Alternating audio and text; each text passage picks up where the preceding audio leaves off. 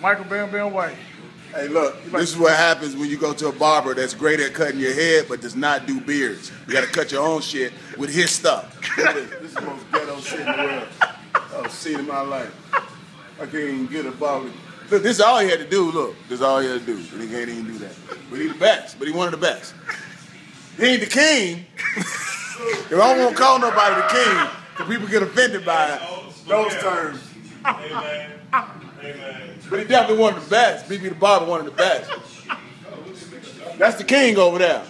No, you might want to ponder that.